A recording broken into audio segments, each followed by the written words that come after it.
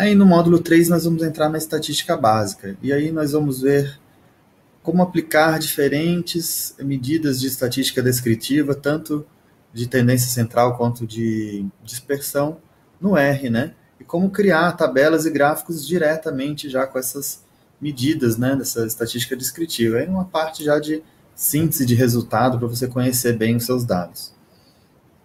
E aí nesse mesmo módulo nós vamos entrar nos testes clássicos. Como verificar a normalidade usando um teste, né, o Shapiro-Wilk, e também visualmente utilizando a linguagem R.